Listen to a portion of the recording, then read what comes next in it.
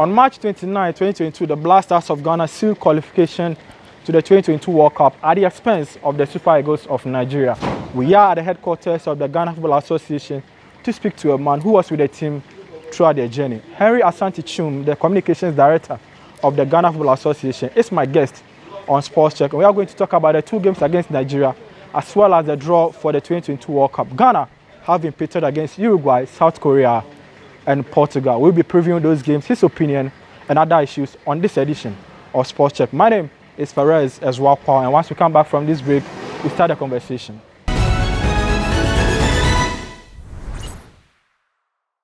Welcome back from the break. My guest today is Henry Asante Twum of the Ghana Football Association. Henry, first of all, congrats uh, to you and the FA for qualifying to the World Cup. Thank you. Um, after the AFCON, we also were up, you know, it was, it wasn't a performance that everyone was proud of. There was a lot of pressure on the Ghana Football Association, especially the president, to qualify us for the World Cup. How big of an achievement is it for you guys to seal qualification to Qatar? Well, um, thank you once again. I think it's the dream of every um, leader of this football family to make it to, to the World Cup. Um, you realize that, yes, in the past we've struggled until 2006 when we qualified for our first World Cup in Germany. Um, it didn't end there. We made it to the um, South Africa 2010 World Cup and we made history by becoming the third African country to make it to the quarterfinals. Um, we were hoping to improve on that record in Brazil in 2014. Things didn't go well. So um, in 2018, um, again, we couldn't make it at all to, to Russia. So there was always the need for us to put in measures to, to, to bounce back and to um, get back to where we belong and to be counted among the top 32 teams across the globe. Um, I'm sure that many Ghanaians had doubts on the back of our performance at the Cup of Nations in Cameroon, but we had um, belief and we kept faith in, in, in the setup that we put in place. Um, you remember that immediately after the AFCON, Milovan Rajevac was relieved of his, his post as coach of the team, and, and the Executive Council took a firm decision on the, on the back of pressure from the public and, and other quarters that we needed uh, um, a particular candidate, or for that matter, a particular person to, to take over the reins of the team. But the Executive Council felt um, Otto was the right man um, we, we took a decision to engage his club or his employers, which uh, for me, Dortmund were very professional in dealing with the FA.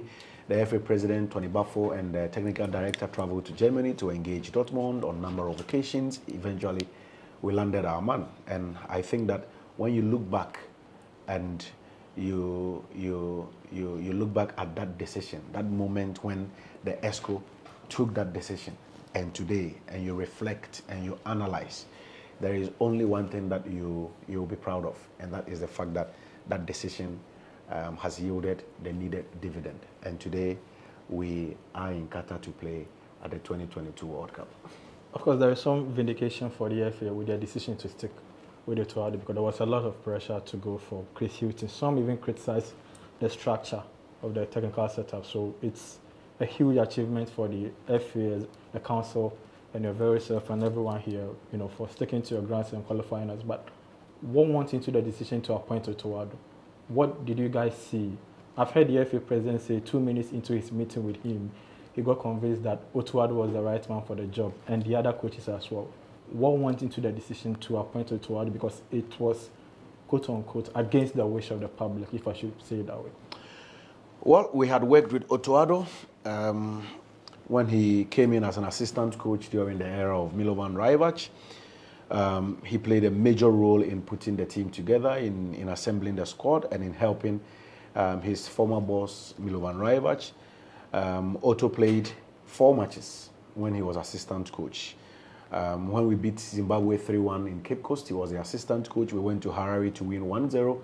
Uh, we played Ethiopia in, in, in, in, Johannesburg, in South Africa. 1-1 it ended, and then we played South Africa here in Cape Coast, and we won 1-0, uh, for which reason we qualified um, to the playoff zone. So we saw something unique in him. Um, his attention to detail, his attitude to work, and the fact that he was um, committed to excellence, made us believe that um, in that short time interval, if, if there was somebody who qualified to, to, to do the job, um, we, we, we couldn't have looked beyond Otto Addo. But today, when those people look back, I'm sure they will take back their words. You mentioned time, and it's one thing that we didn't have prior to those games because um, we came off a very poor AFCON. We ran changes in the technical department. Addo barely had six weeks, and Nigeria were playing good. I mean, based on what the display that they have come, what did Otto Addo and the technical team do? Because for me, I think the victory was down to the coaches we had. So what did they do within the period to, to turn the tie in our favor? They worked very hard. They worked tirelessly. They, they, they, they showed leadership and they showed competence. There was leadership amongst the four coaches. And let me not take out Richard Kingston, who was already around. Sure. And there was competence that was on display. Um, I mean, once the appointment became official, we decided to, um, you know, keep to um, our policy and our plan by not releasing a lot of information to the public.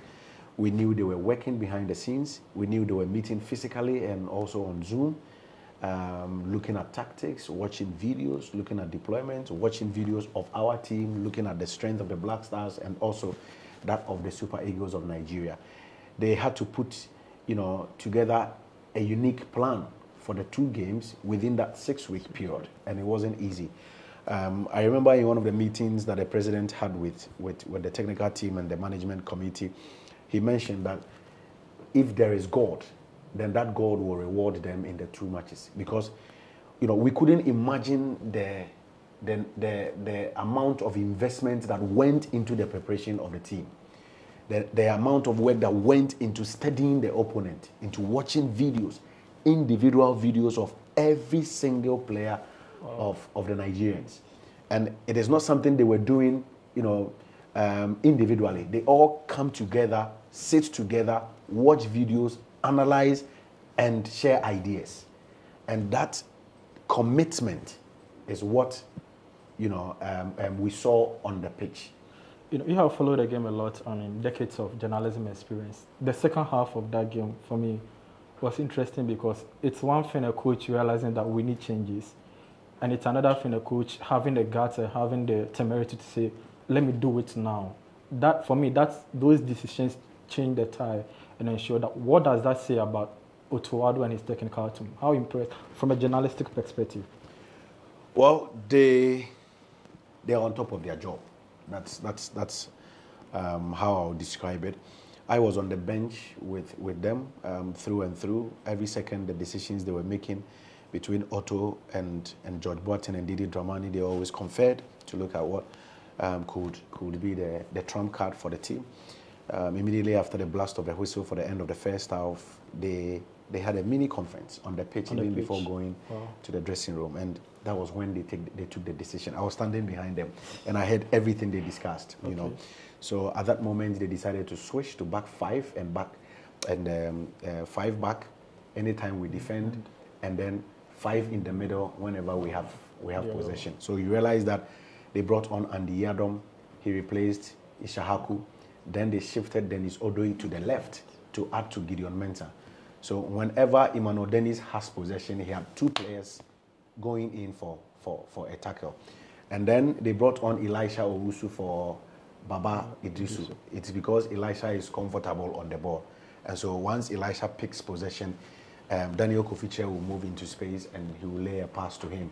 And that's why Kofi also came on for, for Jordan Ayew. And then in the, I think the last 10 minutes of the game, um, um, Afena-Gyan had wear and tear because yeah. he was always jumping and going in for the hard tackles and running around, picking possession. So they also took him out and brought on Kwasi Okyere Wriedt. And at some point, we needed somebody who would go in for tackles and destroy their attack once they build from, from behind.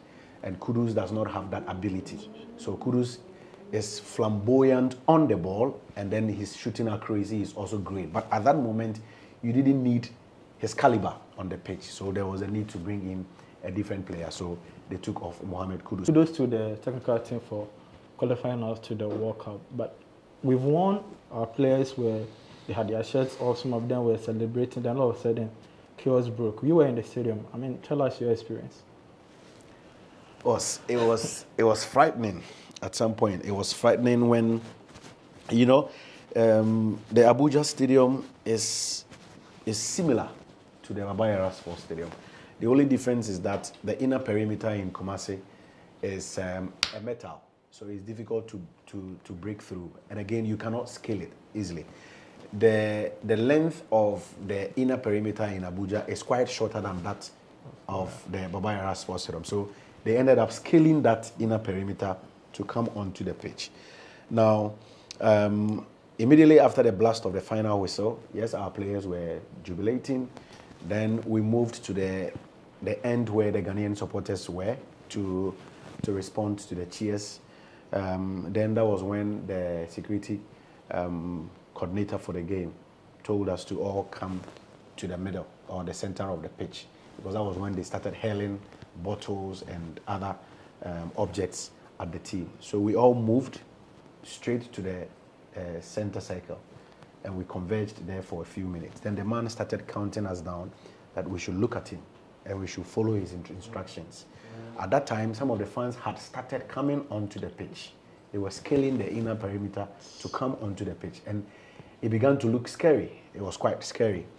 So we followed the instructions of the security coordinator, and he started counting down from one to five. And immediately when he mentioned five, he asked all of us to rush through the tunnel. So we all rushed into the tunnel together. I think the, the last player was Thomas Partey, and I think the one of the fans hit him with a bottle um, at his um, um, right shoulder. But at that time, we had all moved into the tunnel. So as soon as we moved into the tunnel, we were ushered through to our dressing room. From the tunnel to our dressing room is about um, uh, 150 meters. But from the dressing room to the pitch is about two minutes walk. So as soon as we entered the dressing room, we locked the dressing room for security reasons. Sure. And that was when the jubilation started in the dressing room. So we did not even have any knowledge of what was happening Outside. in terms of the vandalization and all the destruction and all that on the pitch until we finished and started seeing videos of the incident on social on social media. But I read somewhere they had an experience. One of the Nigerian players. We were going to congratulate him or console him, whatever. Then he took it wrongly, and it turned um, into some Shehu, Shehu Shehu Abdullahi is a he's not my friend anyway, cause um, but but in Kumasi when they were training, I was there and we had a chat, and same in, in, in Nigeria, and I like his, his style of play. So when the referee blew his whistle for the end of proceedings, and we started our jubilation, I saw him, you know, um, shedding tears. He was crestfallen. And as a good sportsman, I felt there was a need to just approach him sure. and to and to console him, pat him on the back. So I, I, I approached him. I went to him. His head was down, um, and and he was weeping actually, because it wasn't a good moment for for for them. So I tapped him and said, Shehu, better luck next time. I wish you the best of luck. I'm sure that your team is strong enough to bounce back in four years' time. I don't know how he took it. Maybe he misunderstood what I said. So he got up and rushed on me. Oh. But because I didn't want to create a scene, I immediately left the scene. And so my players, I think Gideon Mensah and um, Mantari Kamahini and, and uh, Andy Yiadom tried to, to restrain him. And they did that. And later I saw Kudus as well um, joining the joining the, the three of them. But that time I had left the scene. I was long gone, you know. I was long gone. But it's, it's one of those things. Um, it happens. I cannot blame him. Um, it is. It was. It was tough to take.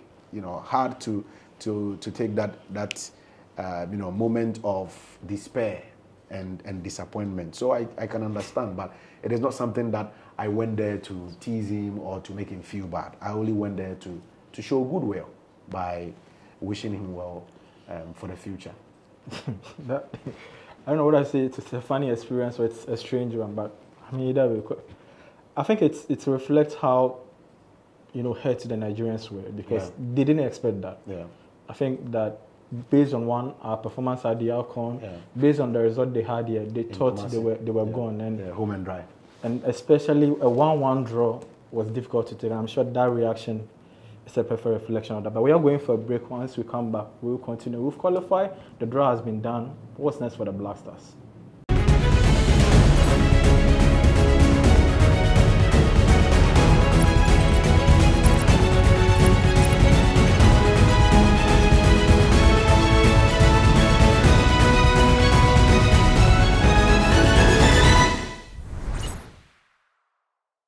Welcome back from the break. My name is Perez Ezuakwa and it's Sports Check. We've been speaking to Henry Asante Twum of the Ghana Football Association. He's been telling us about his experience in Abuja, Nigeria. But now we switch focus to the draw.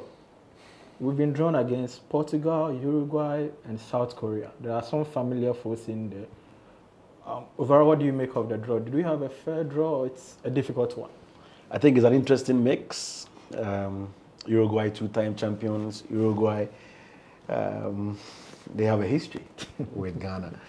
Um, I remember in 2006, before we played at the World Cup in Germany, we played South Korea. That team had Ji Sung Park and co. Uh, we beat them by three goals to one in one of the friendly matches in Edinburgh, in, in Scotland. So, yes, our history with South Korea dates back to those days.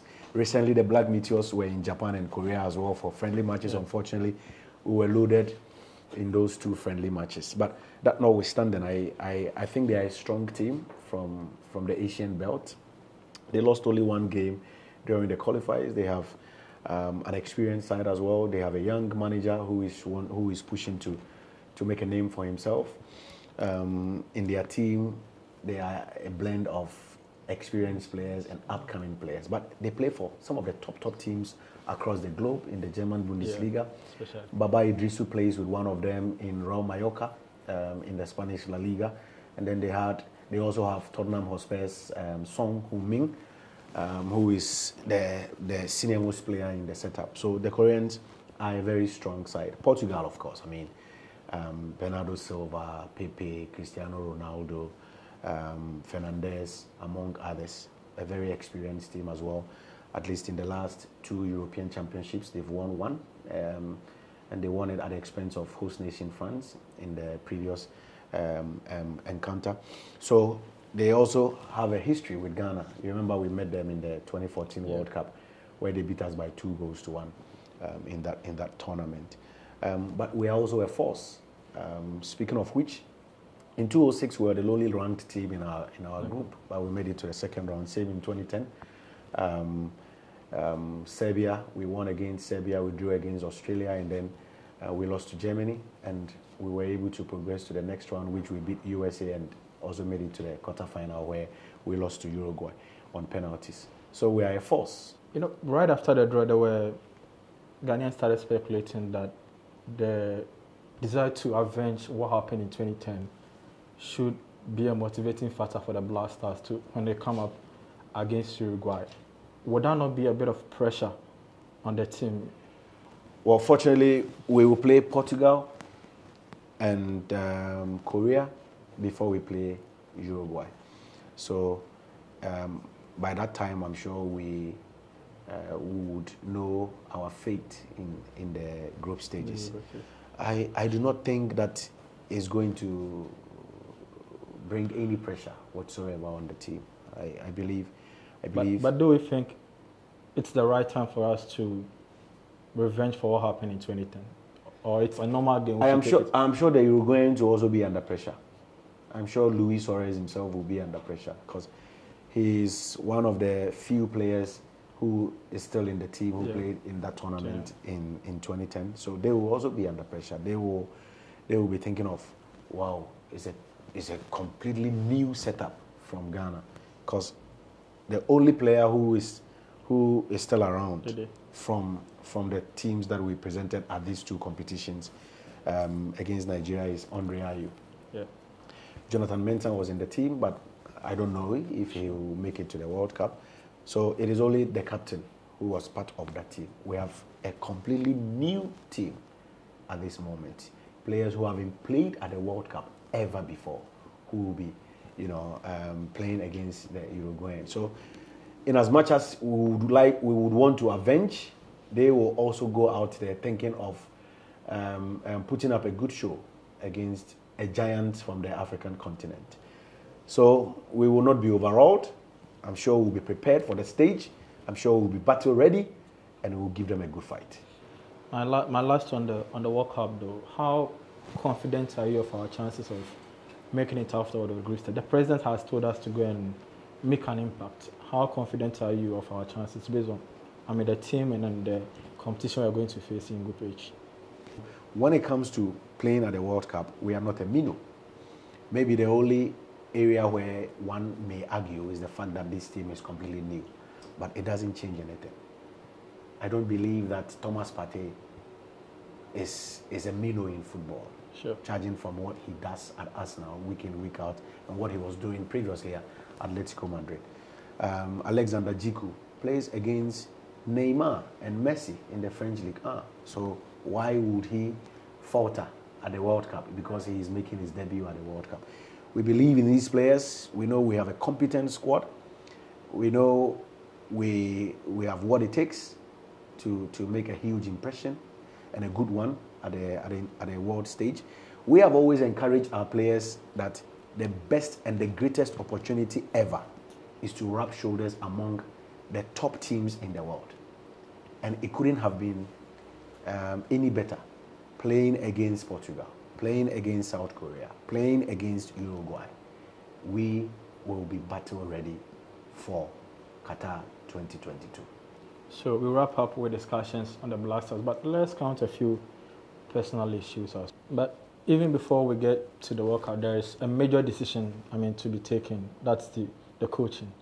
They had just the Nigeria game, then afterwards a major decision was going to be taken. What is happening with regards to the future of Coach Otto Addo and the other members of the technical team? Okay, so um, their appointment was for the two matches. Um, let's not forget that before we appointed them as interim coaches, we engaged their employers. Uh, we spoke to Dortmund, we spoke to Aston Villa, and then we spoke to Nordsjælland and Right to Dream for them to release um, Didi, Otto, and George. Um, Chris was unattached, so it was a matter of dealing with him and his lawyers to, to, to get a deal done. So now that the two games are over, I think we need to go back to the table and speak to the employers of these three coaches. Um, the executive council is yet to meet to take a firm decision, but uh, whatever it is in terms of the future or the technical direction of the team will be duly communicated once the executive council firms it up. Um, you, you first of all need to speak to the coaches and find out if they are raring and ready to go. Once that is done, then you need to engage their employers and ask for uh, them for, ask for their release for, for the World Cup. Fortunately, the uh, European calendar, or for that matter, the various leagues, would have ended at that time. So it will not be too big a task for, for their release. But um, by virtue of respecting our relationship and respecting um, you know, the agreement we had with them, we need to go back to them Sure. and speak to them. And once that is done and we have that agreement in place, a formal announcement will be made. So there are no truths in report that Otto Addo is going to leave and Chris Hughton is going to take over as the head coach. No, no such decision has been taken by the Executive Council.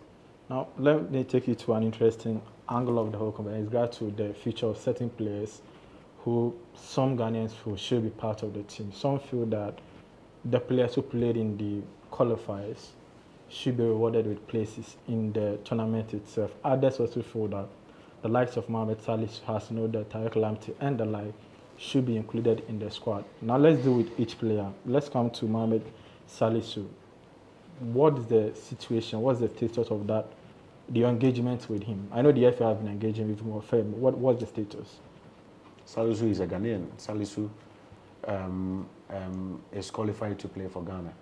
So it has nothing to do with where he plays, but if he is informed, if, if he's, um, um, he's not injured, he qualifies to play for, for the Black Stars. But it is always the express decision of the coach. Yes, I can confirm that in the past we've made overtures, we've approached him on a number of occasions. CK did, Milova knew, but it doesn't change anything.